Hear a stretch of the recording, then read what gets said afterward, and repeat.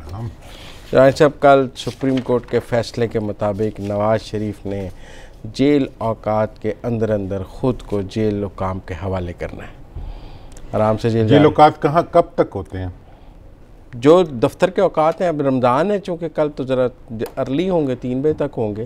تین بجے تک ویسے تو جیل پانچ بجے تک چھے بجے تک بھی قیدی لے لیتے ہیں روٹین میں۔ اور جو آپ کبھی رہے ہیں جیل میں؟ نہیں میں جیل میں نہیں رہا ملنے جاتا رہا ہوں۔ جاننے والے بہت جیل گئے ہیں اور سیاستدان تو آتے جاتے رہتے ہیں۔ ہاں، ہم انہیں ملنے آتے جاتے رہتے ہیں۔ ٹھیک ہے نا تو جیل گیا ضرور ہوں۔ تو ملاقات شام پانچ چھ بجے تک ہو جاتی ہے اگر آپ کا سپرڈینٹ واقف ہو قیدی چلا بھی جاتا ہے۔ رہائیاں بھی آپ کو پتہ روپکار اکثر شام پانچ چھ بجے کے بعد ہی رہائیاں ہوتی ہیں۔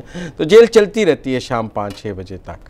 تو کھلتی رہتی ہے قیدی چھوڑے جاتے ہیں رات کو پھر صبح کو ملاقاتیں ہوتی ہیں۔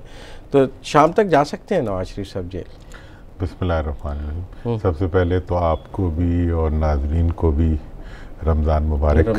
رمضان, کا مبارک مہینہ شروع پہلا روزہ ہوگا۔ اور کل پہلا روزہ ہوگا۔ اور ہم رمضان میں ہاں۔ یہاں ہوں گے۔ رمضان کے پہلے دن ہی جو ہے میاں صاحب کو گرفتار کر لیا جائے گا۔ جی ہاں۔ ویسے باقی چیزیں تو آج سے گرفتار ہو گئی ہوں گی آپ کا جو اشارہ ہے نا وہ سوشل میڈیا پہ بہت چل رہا ہے۔ وہ غلط چل رہے میں یہی بتانا چاہ رہا تھا کہ وہ جو اسلامی مہینہ ہوتا ہے وہ شام مغرب سے شروع ہوتا ہے۔ آج۔ ہاں آج ترابی ہے۔ اس لیے جو وہ گرفتاریاں ہیں وہ جو قانونی گرفتاریاں ہیں۔ وہ مطلب وہ گرفتاری اس سے پہلے ہو ہاں، چکی۔ شیطان ترابی سے پہلے قید ہو گیا۔ قید ہو گیا۔ تو یہ جو معاملہ ہے یہ سیاسی معاملہ ہے۔ میرے صاحب بڑے رہنما ہیں۔ اور کل جو ہے وہ جو اب جو اطلاعات آئی ہیں غالباً ناظرین تک کتنی پہنچی ہے نہیں پہنچی لیکن ہم ذرا ان کو باریکی سے بتا بھی دیتے بھی دیتے ہیں۔ آپ بھی آج سارا دن گھومتے پھرتے رہے ہیں کل بھی گھومتے رہے ہیں۔ جی۔ تو مطلب یہ ہے کہ جتنے ایم پی ایز اور ایم این ایز ہیں پنجاب کے ساروں کو بہت ہی زیادہ پرو ایکٹیولی اپروچ کیا گیا ہے۔ ہر ایم پی اے اور ایم این اے کو پچاس ہزار روپے سرکاری سرکاری سے مراد ہے پارٹی کا آفیشل ڈونیشن کا نوٹس جاری ہو چکا ہے کہ وہ جو ہے وہ direct date so M P ہیں ہاں سی ایم ایل اے ہیں۔ اور ڈائریکٹ جو ہے وہ رائیونڈ پہنچائے جائیں پیسے سارے۔ اچھا۔ ٹھیک ہے جی۔ دوسری یہ بھی ہے کہ جی ہر جو ایم پی اے ہے اور ہر ایم این اے جو ہے اس نے لوگ لے کے آنے ہیں پانچ ہزار اور دس ہزار۔ ٹھیک ہے جی؟ اور بالخصوص جو لاہور کے ایم این ایز اور ایم پی ایز ہیں لاہور ڈیوین کے تو ان کے تو وہی ہے دو ہزار اور پانچ ہزار دو ہزار ایم پی اور پانچ ہزار ایم این اے کو۔ اس لحاظ سے اگر دیکھا جائے تو مطلب لاکھوں کا مجمع۔ جو ہے وہ متوقع ہے اور اس میں ٹکٹ ہولڈرز جو ہیں۔ ہاں۔ ان کو بھی کہا گیا ہے کہ وہ بھی لوگوں کو لے کے آئیں۔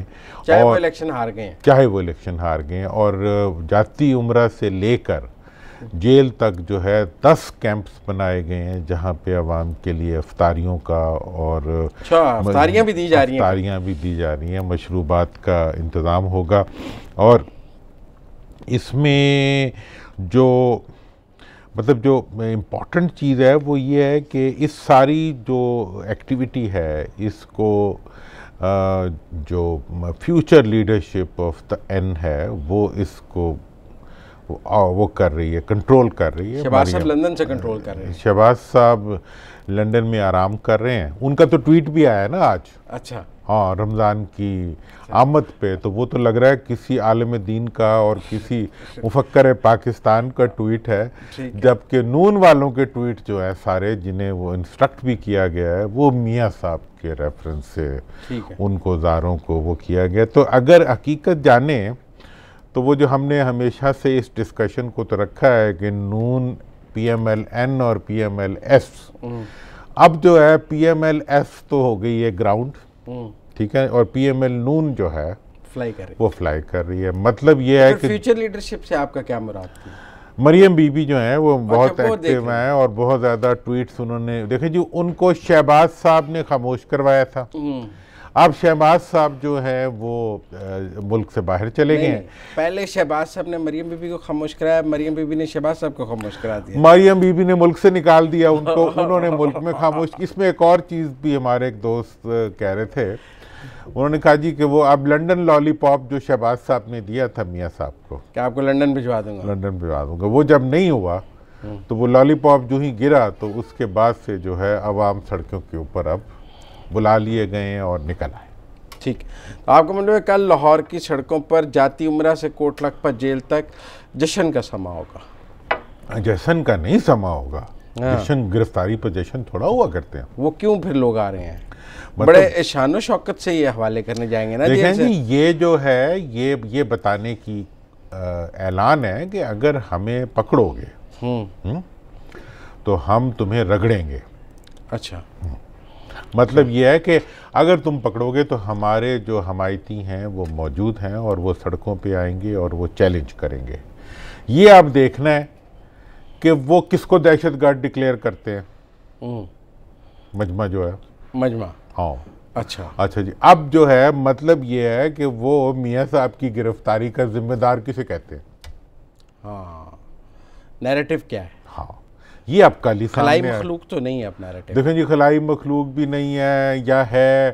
اچھا جی عدالتوں کو اگر وہ کرٹیسائز کرنا چاہیں گے تو عدالتیں ان کے فیور میں بھی فیصلے دیتی ہیں ان کے اگینسٹ بھی دیتی ہیں۔ اگر اور کسی مخلوق کو بنانے کی کوشش کریں گے تو وہ بھی ایک